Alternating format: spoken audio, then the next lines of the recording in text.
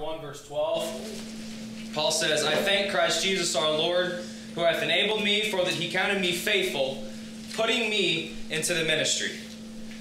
To, this morning, Brother Seth is going to be dedicated for ministry.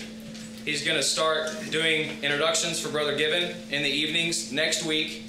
And so I wanted to take some time to dedicate him to the ministry. So, Brother Seth, what is ministry?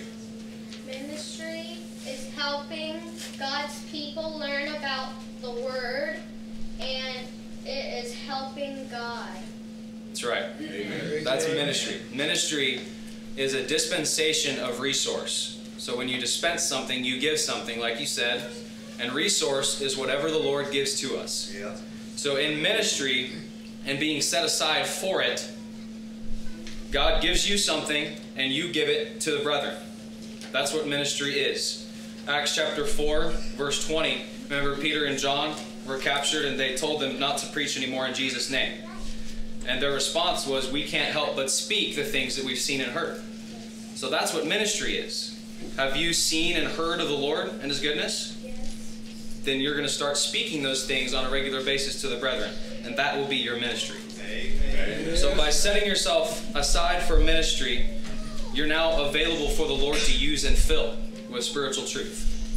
So that's what we're going to do. My exhortation to you is in Colossians. And Paul has a message for a man named Archippus. And he says, Take heed to the ministry which you have received in the Lord, that you can fulfill it. And so now we can say, Brother Seth, take heed to the ministry that you're going to receive in the Lord, that you fulfill it. And to take heed means to pay attention to it, to tend carefully to it, and be diligent with this ministry. Don't, don't let it fall away. Amen. To fulfill it means make the most of it, take advantage of this ministry, and use this ministry in the right way.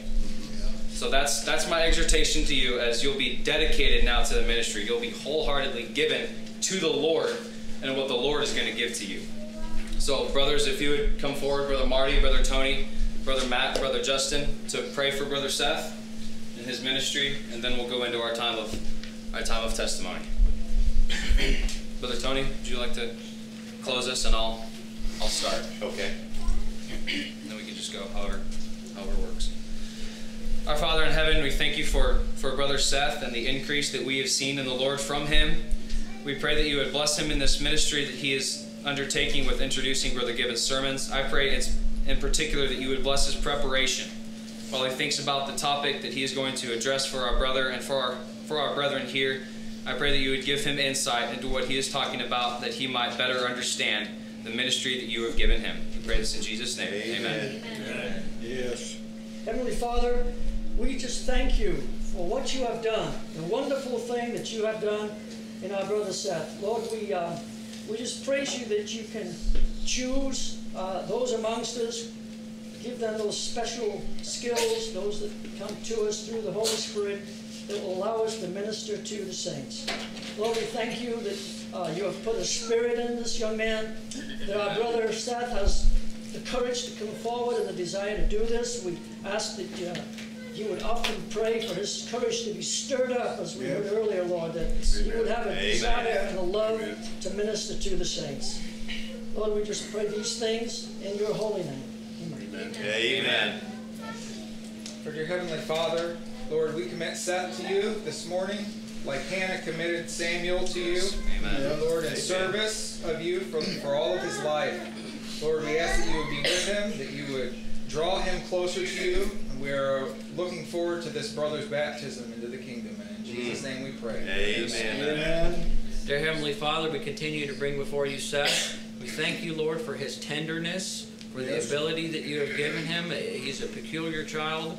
We pray, Lord, that you would uh, continue to sanctify him in his heart and his mind. Uh, fill him with, uh, give him the words to say. Help him to be able to rely more fully on your grace and your ability to use him. In your son's name we pray. Amen. Amen. Amen. Dear Heavenly Father, we thank you for this opportunity to participate in the ministry, this ministry of reconciliation that you've called all of us into. Father, we're thankful that you've given us Brother Seth. We've watched him grow up among us. He has a sensitive heart. and a uh, keen insight, Father. We, we're thankful that you've uh, given him this opportunity to share among us. I pray for his desire and affections to be always stirred up about these things concerning the kingdom and Jesus Christ. Father, we pray that you'd be with him. Father, we pray that you would guide and direct him.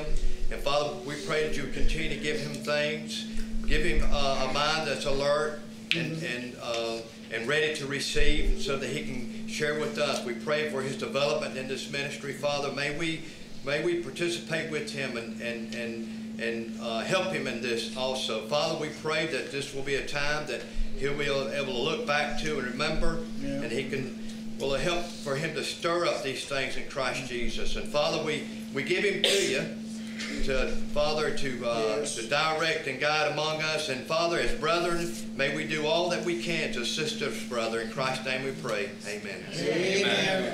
Thank you, brother.